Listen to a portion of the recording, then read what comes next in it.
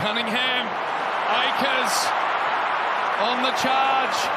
Bouncing ball. Blakey. Did he try and take that tackle on? Fogarty certainly thought so. Acres' chase was just phenomenal. He's just getting up. A little bit ginger after that.